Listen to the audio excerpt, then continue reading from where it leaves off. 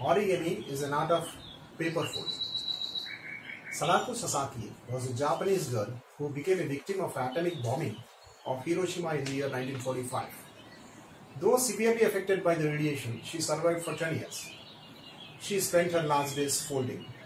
She started folding Senbazuru, 1000 cranes, when she was hospitalized. She was told that if this is done, she would be granted a wish. She died because of acute leukemia.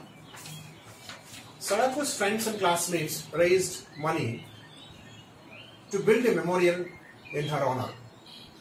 It has a statue of Sadako holding a golden crane.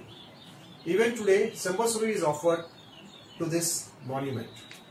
In this video, we shall learn about mathematical angles through origami. Let's unfold a simple rocket fold. We take a square paper, fold one diagonal to it.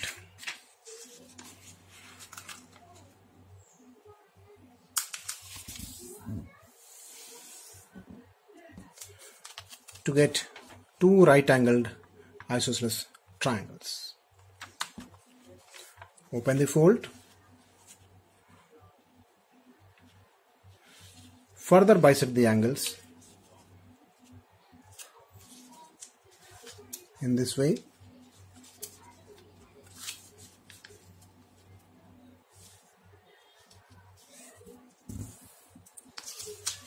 On either sides.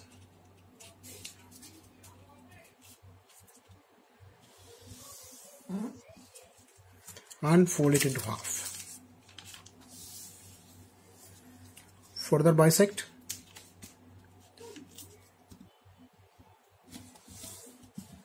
On both the sides.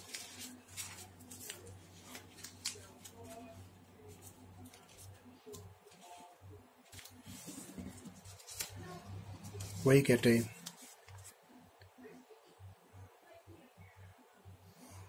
rocket fold the rocket is ready. These rockets flew many times. Our interest is to explore the folds. Unfold and observe. At the corner where we have folded, we have several angles. Let's explore.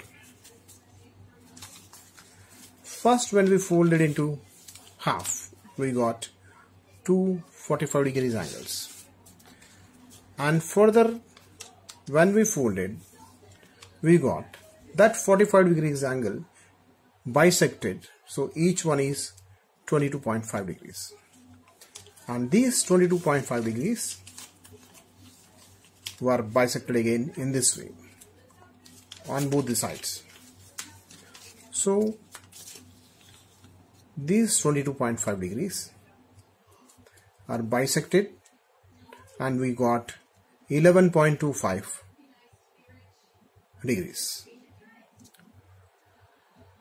But we never observed this measure of the angle. So now onwards, this 11.25 degrees angles should be familiar to us like our 90 degrees angles. Happy folding viewers.